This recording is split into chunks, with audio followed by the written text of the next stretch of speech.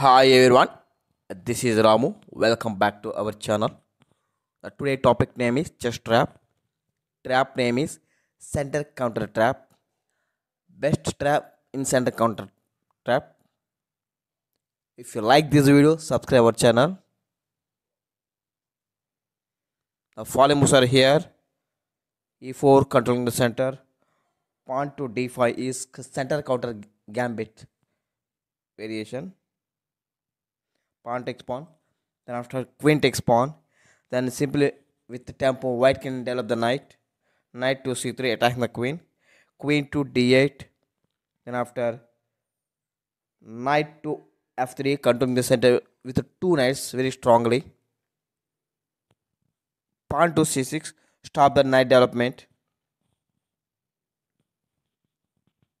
Pawn to d4 controlling the center with center pawn pawn h6 stop the knight development on g5 square.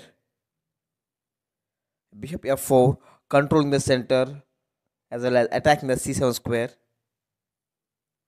Knight f6 controlling the center. Bishop c4 controlling the center as well as attacking the f7 weak square in the future planning. Bishop f5 controlling the center attacking the c2 pawn knight e5 white wants to create the fork on f7 square. Here black played pawn to e6 block the attacking. Then after pawn to f3 here white player planning is stop the knight development as well as white wants to control the center on e4 square. Bishop e7 preparation to castling pawn g4 attacking the bishop. If why here white player planning is if bishop played to g6 knight takes g6 pawn takes g6 then after white can get, gain free pawn on e6 square. That's why black played bishop to h7 avoid the uh, opponent gaining a pawn advantage.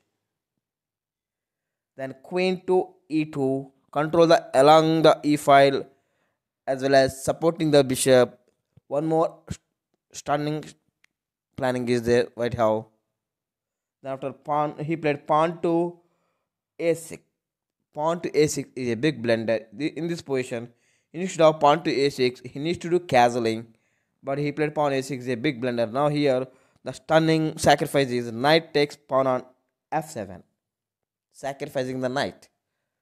Then after forcefully king will take the knight because he will lose the extra piece then after the stunning checkmate is possible. Now here queen takes pawn on e6 check, king move to e8, then queen f7 check, king move to d7. The unstoppable checkmate is bishop to e6, stunning checkmate over. So when you are playing time, compulsory you need to follow your opponent planning. Every move is a reason is a good move in chess game. There is no reason is a bad move. That's what we need to think which is the best moment to choose always. Thank you. Bye bye everyone